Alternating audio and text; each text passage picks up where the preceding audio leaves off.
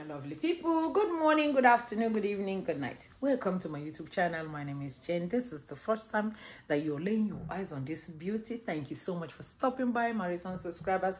Mm, big hugs and kisses from me to you. Thank you. Thank you. I appreciate you. Please give this video a thumbs up. Subscribe if you have not. And I thank every one of you that have subscribed. I cannot thank you enough. You guys are the best. Thank you. Did you guys, are you guys hearing what is happening with uh, this, uh, everything that is happening in Nigeria? Hmm. Arewa people, Arewa youth leader came out and said, who said that now uh, Igbo people are not supposed to be presidents?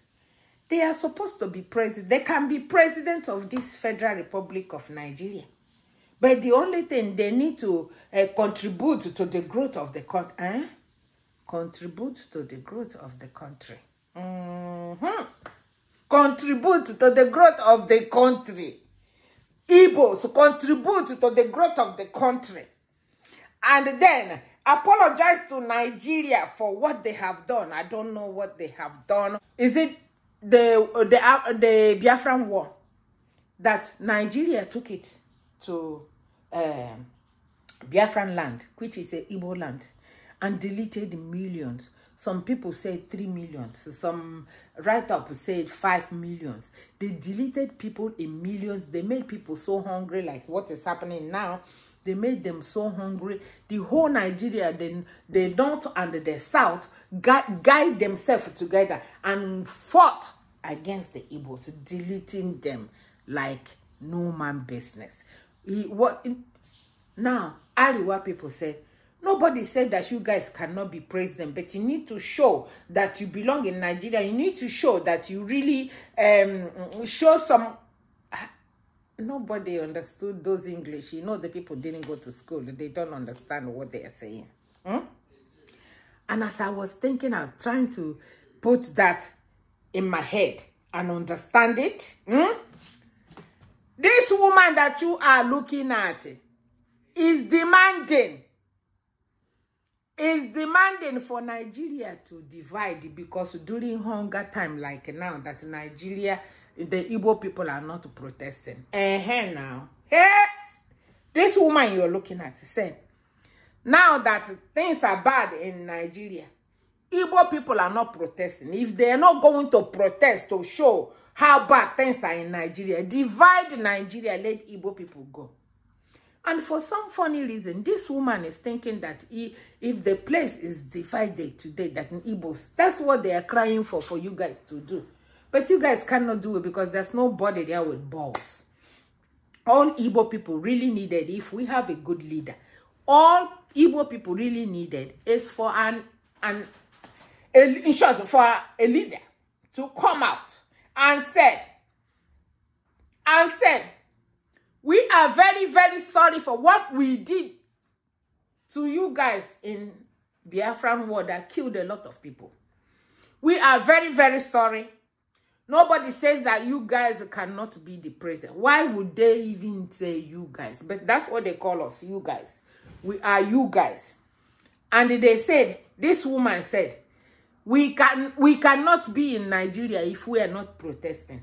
So they are protesting trying to get Nigeria out to come uh, get Igbo people out to come and protest so they can send army and police to go over there and delete them the more. So they can dis that's exactly I did not know about that part until I see people started coming out and saying Igbos if they don't if they don't protest for this and divide the country let them go. This will be the happiest day of every Igbo person's life. Divide it and let us watch how you guys are going to make it in in in the next couple of what? All the people that are talking rubbish they're just talking for themselves. I just wish and hope that they can listen to those people that are telling them instead of fixing the country giving light the, what the Igbo people are saying is fix the country make it livable for human beings to live that's all they're saying that's all Nnamdi Kanu said though didn't say more than this oh. make it livable Nnamdi Kanu say, what did I do to them? All I did was do for Igbos the same way that you are doing for uh, Yoruba, Hausa, or whatever. They say, bring me and let, let me, whatever. You see? So, this woman that is calling that no Igbo protest uh, divide the country. And then to top it all up, to top it up, the former president, hey God, the former president of Nigeria that they call Gowon, hmm, came out. You know, in Nigeria today, they don't do history. Uh, they don't teach history. When I was in school, they used to teach history, all this uh, nonsense. Uh, don't, they, they don't teach history of Nigeria. They don't teach it so people will not learn the evil that they have done in Nigeria.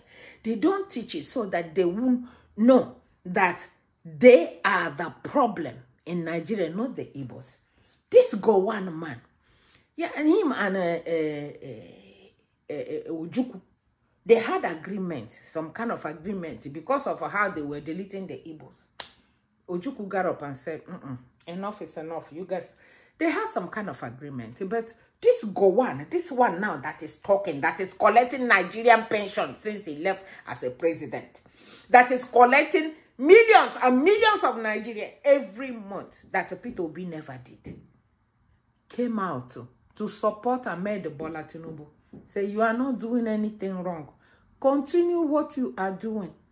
That's exactly what they did when I was there. When I went for war in Biafra, didn't I succeed? Continue what you are doing. I told you guys that whatever it is that they are doing, hmm? they are doing it to trigger Igbos to come out so they can go over their war to delete them again. That is, this is the more reason why Igbo people should not even venture to come out. Continue doing your business, no matter how expensive it is, it will be better. A former president of Nigeria, you want to know how he said it? Well, listen to how he said it. If I remembered, I was told that I, was fighting the war, I was too slow, and uh, you know probably we, we Nigeria cannot make it, and that we should not seek for a, a, a discussion. Well, did we do it or not? After deleting millions of people, innocent millions, mothers, fathers, children. Hmm? He came out to brag and tell Tinubu, continue what you're doing. Oh. Eh, Nigerians, they sabi, they know how to talk and yab.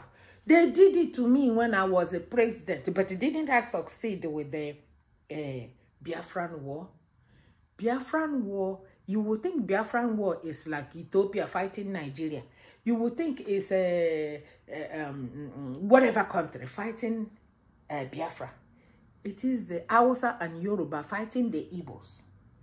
For even for saying we need to belong in this country. That they said Igbo people have too much sense. We don't want to bring them close. This man came out and supported Ahmed Bola Tinubu and said, continue what you're doing. They will always talk. After all, they said the same thing when I was the president, but I succeeded in the war and I dealt with them. That's exactly what he's saying in a simplest English.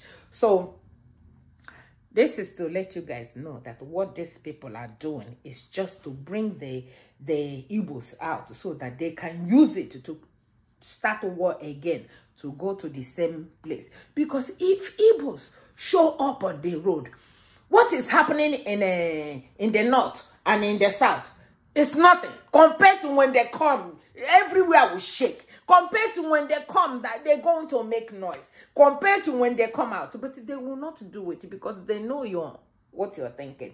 They know that you are thinking that if they come out, now they will uh, blame it on the IPOB. They will then start calling them the terrorists. But they have terrorists in a, a, a north, south, everywhere. They don't want to go after them. Oh. Instead, they are babying them and giving them food. Instead, they are bringing them and putting them inside police and inside the army. But once they see IPOB now come out to say that they are protecting our people in the bush. Eh? They say, see, we told you guys that Igbo people are the problem. That's when they will make use of these armies, these useless armies, these useless and, and boneless armies we have in Nigeria, and they will send them. They say, hey, okay, go to the east and delete them over there. And that's when you will see them go over there, take women, carry women for the ones that they will go and carry, go sleep with. And then they delete millions of people. That's what they are looking for. And that's what uh, this president, this former president, is telling Ahmed Bola. Continue what you are doing. We are behind you. Continue, continue. They did it to me and I succeeded. Don't leave these people. Let them. That shows you what. Would you come out again tomorrow to go and fight for them?